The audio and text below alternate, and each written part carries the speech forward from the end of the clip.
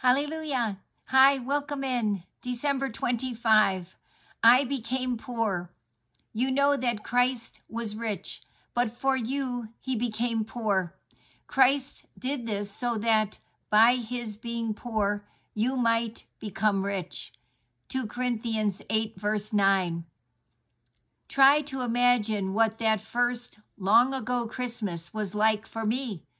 Think about how much I gave up when I came to this earth as a baby.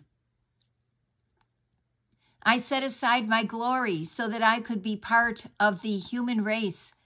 I gave up the power of heaven to become a helpless infant.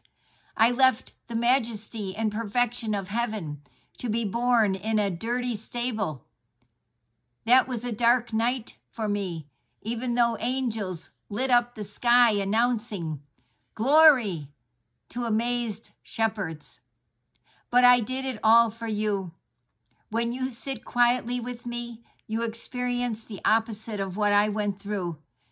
As you focus on me and all I gave up for you, heaven opens up just a bit, giving you a glimpse of my glory.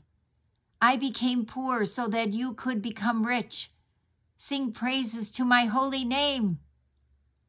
Read on your own 2 Corinthians 4, verse 6, Philippians 2, verses 6 to 7, Luke 2, verses 13 to 14.